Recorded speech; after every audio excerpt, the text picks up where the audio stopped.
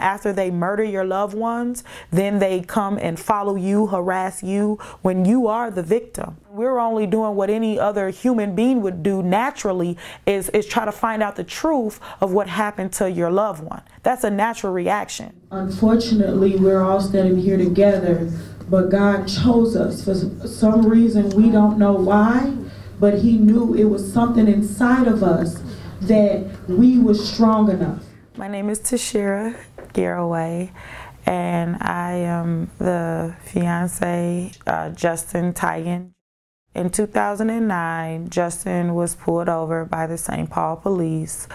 Um, and during that, we got so many different stories, but at the end of the story, Justin ends up dead.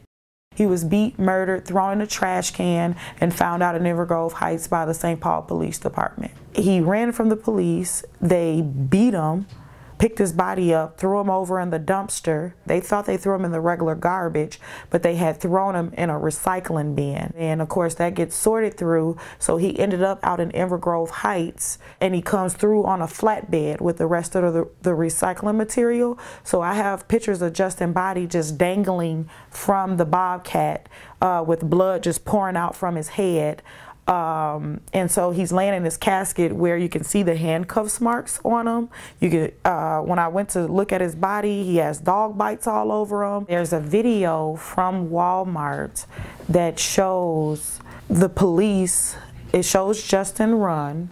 It shows the police right where the area where Justin ran, and then the video goes blank. So it's clear that the video has been tampered with. But the video clearly shows that the police was right there in Justin's presence, although they told us they never chased him.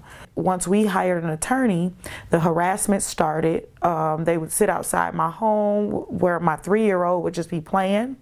They sit there and watch my kid. That scared me bad.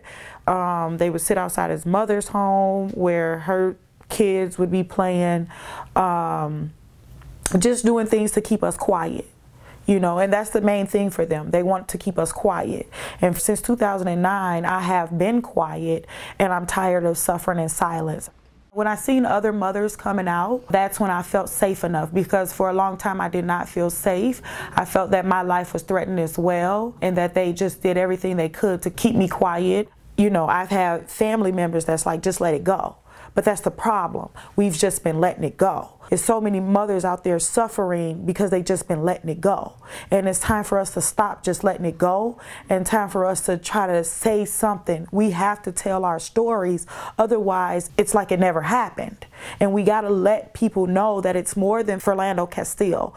It's more than Jamar Clark. Only by the grace of God that that girl was there to record Philando Castile. Otherwise, it'll be the same situation like the rest of us. Swept under the rug and everybody just just moves on like nothing happened. But that's what they want to happen. That's why they harass us. That's why they follow us.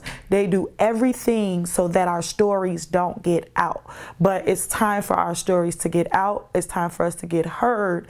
And it's time for something something to happen. It's, it's time for people to hear us most of all.